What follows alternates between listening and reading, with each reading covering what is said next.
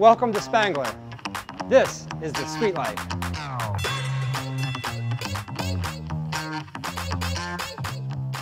Bryan's a population of 8,000 and 500 of them work right here in the candy factory.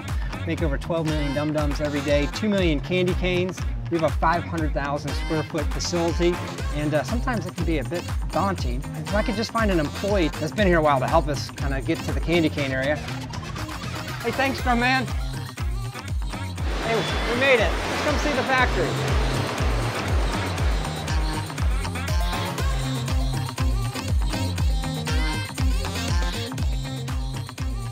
I have a nine-year-old son, and he thinks my job is the all-time greatest, and he tells everyone what I do.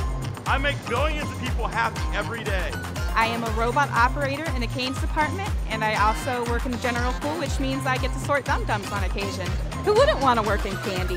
Here at Spangler, we make dum-dums, safety pops, candy canes, circus peanuts, the most loved and the most hated candy. I met the love of my life here. I've been here 27 and a half years. He's been here 40 years. I love the joy of everybody when they see the candy canes in the stores or when you go to the bank and you see the dum-dums or the safety pops. Everybody wants one. Let's go make some candy!